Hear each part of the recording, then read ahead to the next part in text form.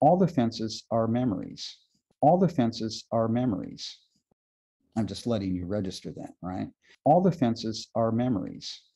If a patient detaches from you, patient oftentimes is showing you how someone detached from them.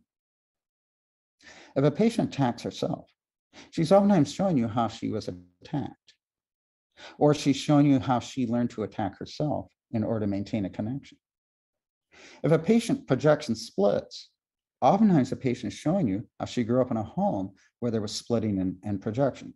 So keep in mind, the defense is always a memory of adaptation. Every defense is a way of relating to you, and every defense, in a way, is an enactment of a kind of relationship with you. The defense is always a memory of adaptation. So that's why, for instance, in isolation of affect, if the patient takes a detached stance, we'll say, notice how you put up this wall, the detachment. And then we would have the same distant relationship here that you have with your wife and that you had with your father. So can we see what feelings are coming up here toward me? You're beginning to address the way the patient is enacting a past relationship with you. The patient learned I should attack myself and then my mother will calm down. So when the, instead, when the patient goes self-attack, we'll say, oh, could that thought be hurting you? Could that thought be unfair to you? Could we see what feelings are coming up here toward me if we look underneath those thoughts? Inviting feelings is actually inviting a new relationship. It's blocking an old enactment.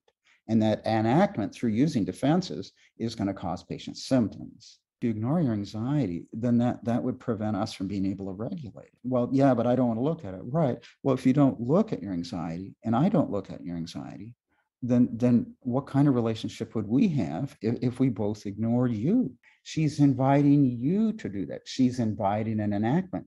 That's where we have to keep our attention. So given that you're inviting me to hurt you, could we see what feelings are coming up here toward me? These defenses are always enacting past relationship. And so we're having to think about how do we bring that to patient's attention and how do we make sure that our interventions are offering a new relationship rather than repeating the old relationship. All defenses are memories.